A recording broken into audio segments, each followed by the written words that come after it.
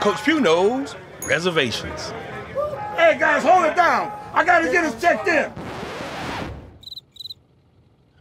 You got a reservation for Coach Buddy Pough? I got you, Coach. Coach Pough knows South Carolina State Parks.